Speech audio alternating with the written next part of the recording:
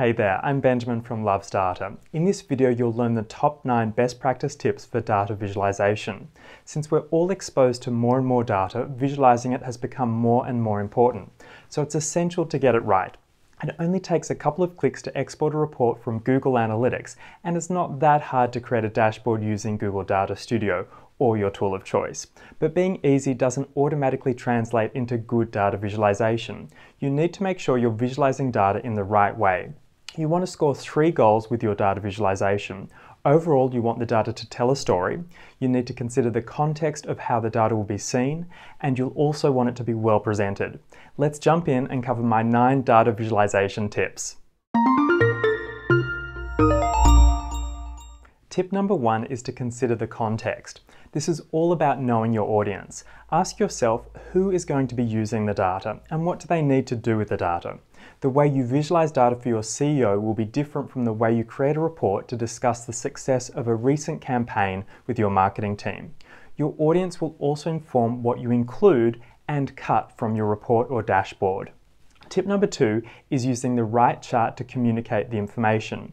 From bar charts to scorecards, from scatter charts to heat maps, there are lots of ways you can choose to visualize data. You'll need to spend time selecting the right chart for the job, but here are some pointers. Bar charts are perfect for comparisons, like comparing the amount of traffic coming from your top marketing channels. Line charts are ideal for showing changes. If you want to show the seasonal trend for a metric like users, revenue, or conversions, then a line chart is a great option.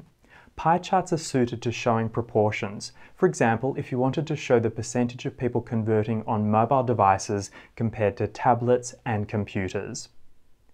Bubble charts can be used to show relationships, like showing the traffic to product pages along with their total product revenue.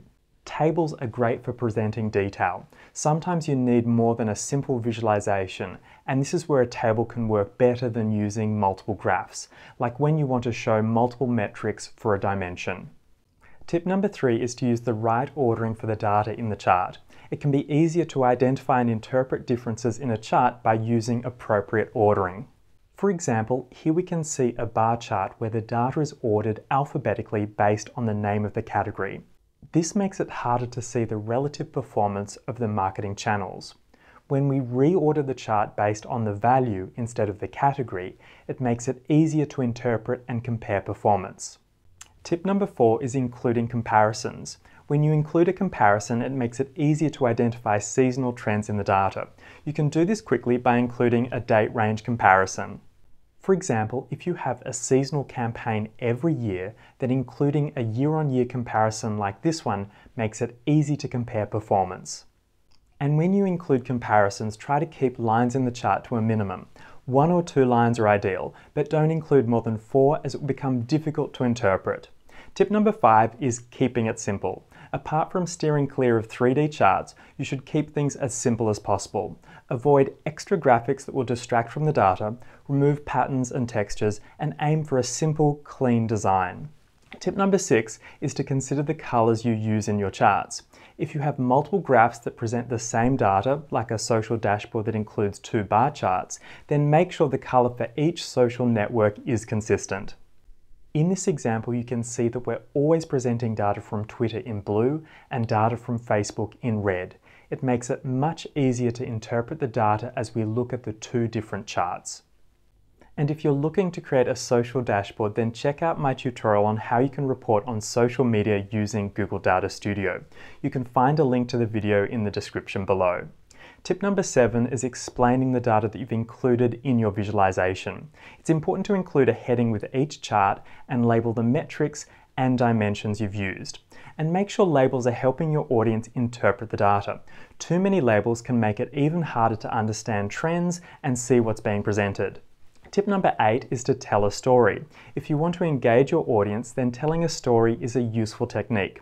Consider what you're trying to communicate and think about including a beginning, a middle, and an end. This can be as simple as deciding how to order charts on a page through to crafting a narrative that takes your audience on a journey. And make sure this considers tip number one, the context for your data visualization. Tip number nine is choosing the right tool. There are lots of ways to visualize your data. If you're visualizing data from Google Analytics, then you can use Google Data Studio, Google Sheets, or another tool. But in some cases, you might find the built-in dashboards meet the requirements of your audience. Use the tool that will visualize the data in the way you need and gets the job done as efficiently as possible. So they're my nine data visualization tips. It doesn't matter how you choose to visualize your data from Google Sheets, Excel, or Google Data Studio. By applying these tips, your dashboards and reports will have the impact they need. Remember that keeping your data visualization simple, clean, and concise will make it easier to interpret. So take a moment and make sure you're applying these tips to your next data visualization.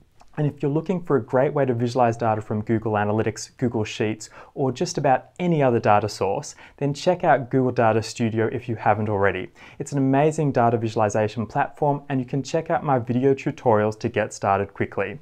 Do you have any tips you'd like to add? Let me know in the comments below. And if you found this video helpful, then please like it so I know to make more videos like this. See you next time.